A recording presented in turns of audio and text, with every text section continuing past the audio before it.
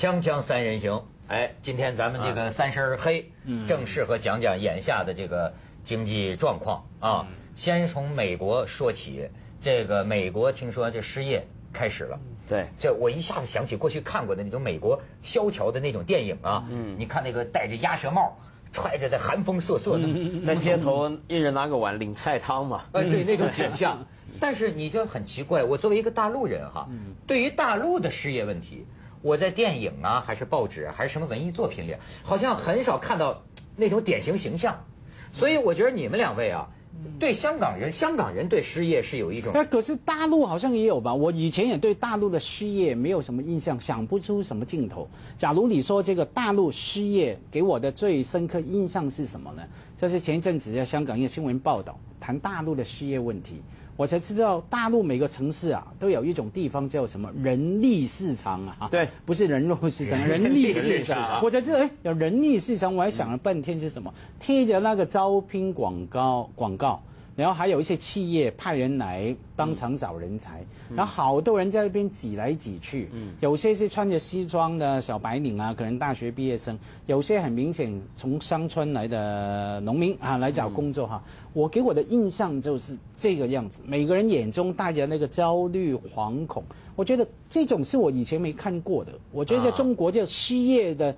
影像哈也开始成型了，开始开始出来，而且现在真是到了这个时候。你看，这最近十一月十四号，美国你这就看出来了，华裔的这这人在北京念过大学，四十七岁的这么一个华裔工程师，他呢这个被裁员，现在美国的纷纷裁员嘛，被裁员的这么一个工程师，怀疑了，怀疑他是因为被裁员，嗯，然后持枪进了他的这个原公司，嗯，枪杀两男一女。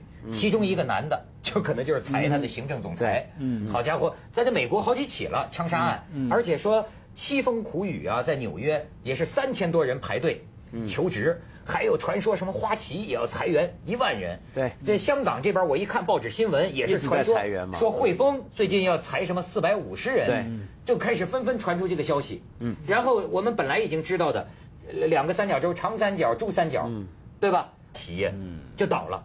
然后这些个工人现在呢，不是国家开始说了嘛？就是说这个企业，我们原来改革当中要求你们贯彻这个最低工资标准嘛，嗯，现在暂时不提了，就暂时不提了。为了什么呀？企业企业尽量别裁员，你给我把工人先给我留住，就是降低他的这个成本，就是说你宁愿钱给少点，但别让工人失业嘛。现在意思是这样，不过中国还是中国，我觉得中国跟。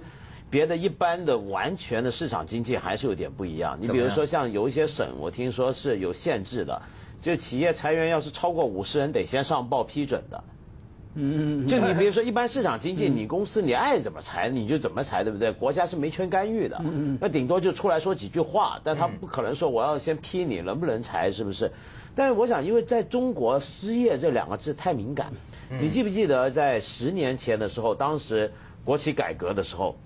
有很多人其实都失业了，但是那个年代，你记不记得有个字眼，不叫失业，叫下岗。下岗，你想想看，就连失业这两个字是政府或者官方是不敢提啊。嗯嗯，他不就明明这就是失业，但他不愿意说这叫失业，他说这叫下岗。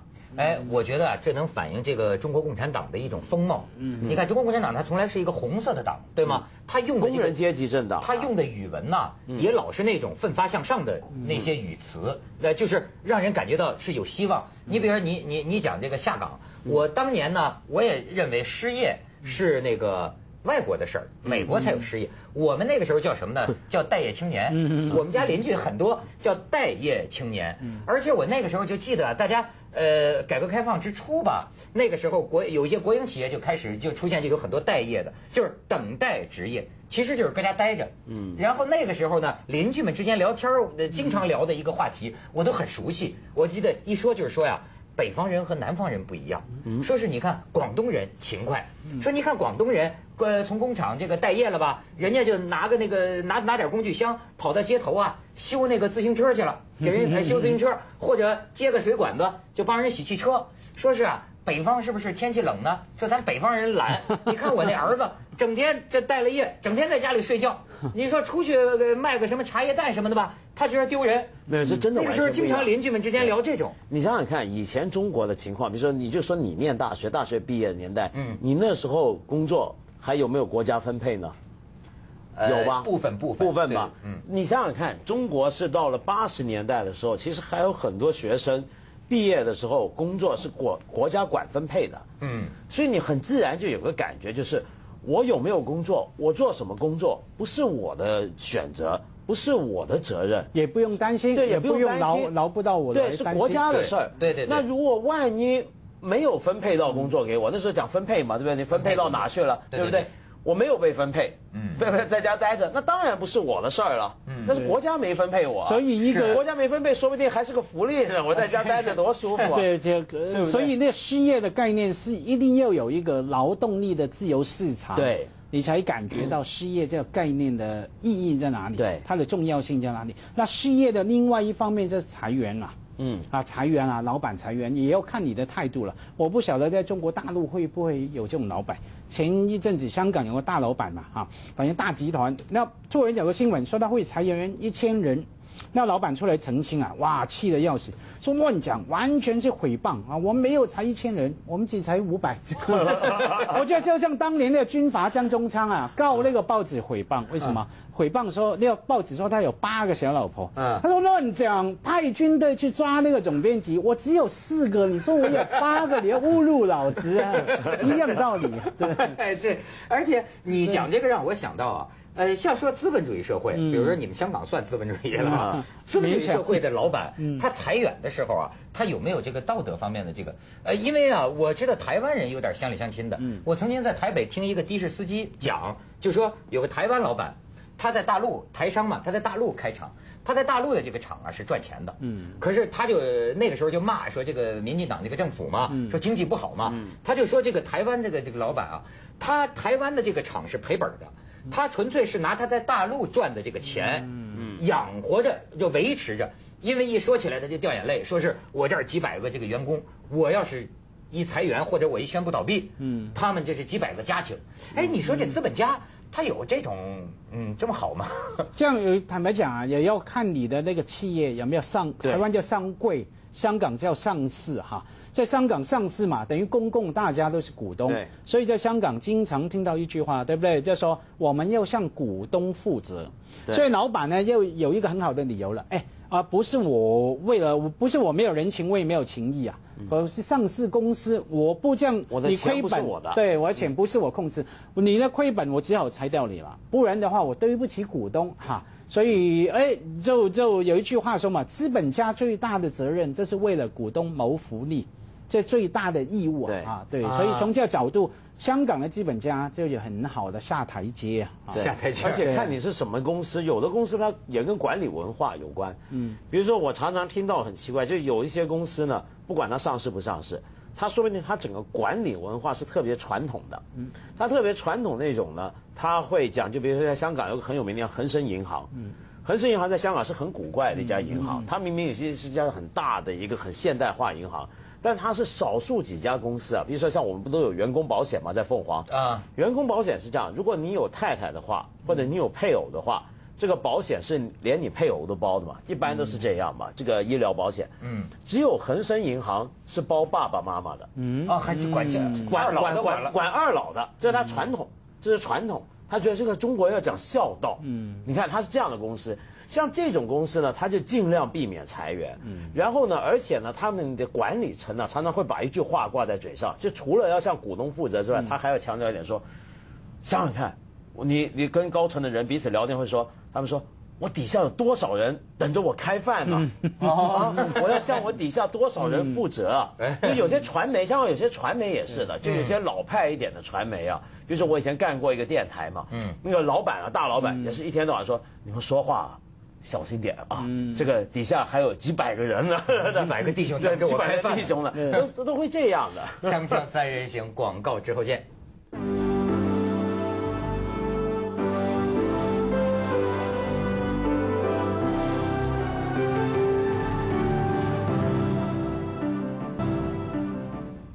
前一阵我看香港那报纸就开始讲，要不这就是香港人啊，就是从一个地方反映出啊经济不好了。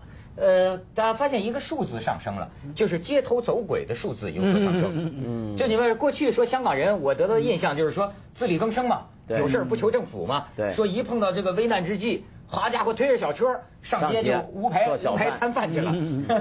现在很很困难了，因为香港这二二二十二十年啊，城市化嘛，管理嘛，这变成说，变成一来好像比较城市比较安全嘛。坦白讲，那摊贩在路边也是有有引起种种的公共秩序的问题。嗯，可是有时候这种比较松动的管理啊，反而是有个安全网。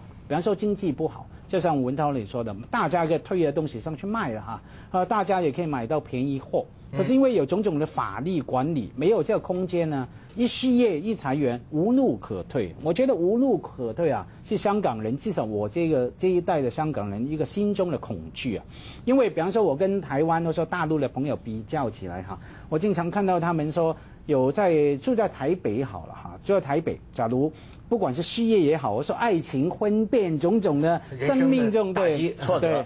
那怎么样呢？离开台北，远离台北，回往南走，回南方去。记不记得有个很出名小说家陈应真啊？他有一个很出名的小说《夜行货车》，对对，里面就讲了男女主角在台北啊，生活的不愉快，不喜欢替跨国公司的资本主义家呃资本家服务，走。男的就牵着女的手走，我们回南方去哈。海角七号第一幕，第一幕啊，不能讲嘛，要去脏话嘛。讲讲讲就是他就插他妈台北啊，对。但是他去哪儿了呢？骑着个摩托车离开大城市回老家了，他有农村可回。往南走，你往南走啊，家里第一个台湾地方是相对香港大很多嘛，有个家里回去就蹲着了嘛，或者说那个伦理关系至少还存在。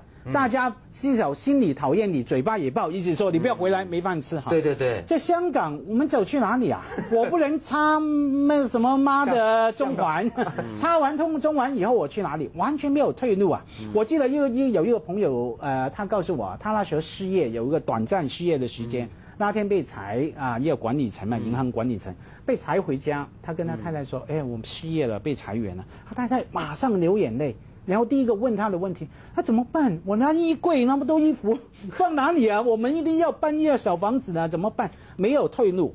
你没有退路的话，可以我经常说从这个角度来解释啊，香港人啊觉得那么功利。那么惶恐，好像整天想着要钱啊，要赚钱啊。对，因为你没退路嘛，你一失业，你没地方住，那个这朋友家、父母家、兄弟姐妹家不是不想接纳你，根本也没能力来接纳你。住这个地方很重要。所以怪不得有人讲，就过去都有点歧视，就是说说香香香港人都是一些叫什么生存动物、谋生动物。其实啊，他真是无路可，就剩下海了，投海一条路了。而且这个也是香港特别凄惨的一个地方，因为。你一般对待失业问题，你比如说有两种国家，或者我们简化为两种典型，有两种处理方法。一种像大陆这样，或者像台湾这样，就是比较传统的中国人社会。在这种社会底下呢，你一个人失业，失业最怕就是没有收入，对不对？没有收入，你生活无依无靠。这时候你可以回老家，比如现在珠三角、长三角很多工人啊失业了，农民，那么他们虽然也很惨，但是呢，到了万不得已，最后他们是可以回农村的。农村其实最近几年也出现了很多地方没人耕呢，怎么样？他回去他还是能种地的。嗯。那么，呃，另外一种就像美国或者英国、欧洲国家，欧洲国家呢，就是你失业的话，你就靠政府救济。嗯。那政府救济呢，也都还是有保障的。虽然美英呢这几年新自由主义下面，就你觉得拿救济金是很耻辱的事。或者救济金也一直加很多条件、很多限制，但到底有这个底子在，就是说你，也就是说你失业之后，你要不就是靠社会网络支持你，要不就是政府来管你。香港是怎么样呢？香港正好是两者都没有。嗯，就是说香港呢，你想往社会网络去退，就像刚才家辉讲那样子，你无路可退，空间上没有腹地。社会网络呢撑不了你，对，呃，你要靠政府呢。香港的政府从来，香港这个社会标标榜的意识形态就是，大家要自力更生，要做一个有用的人，自己靠自己，不要依赖政府。所以呢，香港很多失业的人，他就算拿那个政府救济金啊，他们都有那种经验，就觉得特别羞辱。就首先你去到那个大楼，你去排队去登记的时候，你会觉得每个人都在用异样的眼光瞧着你。然后甚至呢，连那个政府职员给你办登记那个人呢，都会百般在言语上来刁难你。嗯，所以在香港，你失业，你觉得简直是一个绝境。对我，所以我失业第一件事就打电话给文涛，我也不想有个依靠。刚刚被炒，对对对，真的，我就觉得文涛哪个文涛？要是生活本来就比较穷，收入比较低的人，你比如他失业，当然也是很惨哈。但是我觉得你像香港会有很多白领，不一样，你呀挣的工资还很高，尤其是现在金融风暴，你像华尔街上的。那他家伙就一下跌入谷底啊！因为他买的房子按揭，可能一个月他还得供几万块钱呢。嗯，对。那家伙这怎么办呢？而且这里面还有很多生活上的物质以外的东西，虽然是建立在物质，但是他要满足一种非物质欲望。举个例子，呃，在香港这种社会，失业为什么特别惨？因为香港这个城市，它每一个人的生活意义是跟你消费有关的，就你是什么样的人。你要过什么样的生活，是跟你去消费什么东西连在一起的。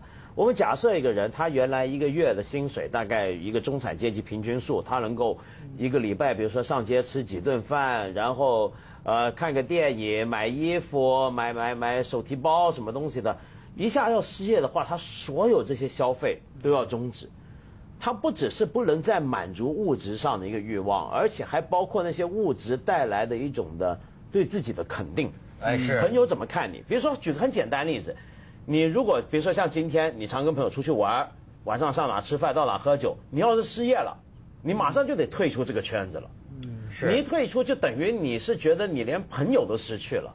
没错，没错。而且你你不能老让人家买单呐。对啊。所以为什么老是一种有些人说就是惶惶不可终日啊那种感觉啊？就是他这唯一的这个一切保证就是他这份工资。这份还不错的工资，而且那个对啊，钻钻研啊，哈，有时候失业这种经济不景会制造仇恨的。我记得好久以前我在这个节目谈到好几久了，三四年代的时候哈，这个不是很多人失业吗？经济很不好吗？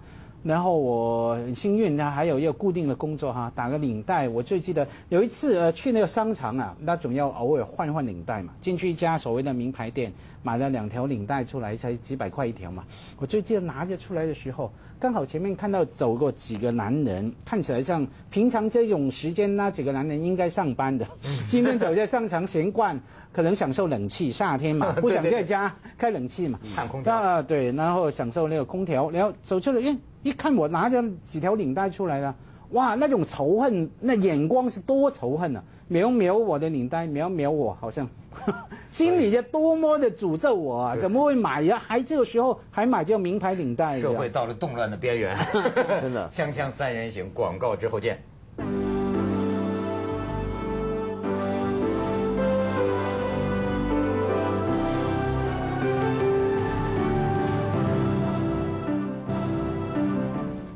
我现在渐渐开始感觉到什么叫萧条了。过去在课文里叫什么大萧条，我现在觉得你到香港酒楼，我请人吃饭，我一看晚饭时间呢，从来在香港我没见过，怎么就两桌客人加还加上我们？嗯，平常你记得我这我对香港的印象是，这香港人怎么那么好吃啊？什么酒楼坐的都满满当当，全满的，对，下午都很多人，对，现在哎呦。真是冷冷清清啊，没错，连饭都没钱出来吃了。对，所以很多，尤其是首先受到打击的就是那些高档消费场所。嗯，因为香港呢特别偏重金融业，那么最近这波裁员潮呢，首先针对就是金融行业的人嘛，对不对？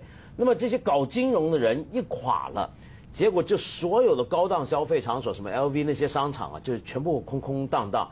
这时候呢，但有一些地方你去看，生意是很好的，街上就开始出现那种十元店，你知道吗？嗯，就任何商品都是定价十块钱的，哦，这种地方就火起来了。然后呢，你再去看那些呃失业的人的状态啊，你就会发现也真的很有意思。就一个失业的人，他为什么会觉得尊严那么受损，那么的无路可退？香港这种这种经验，会不会将来也出现在大陆呢？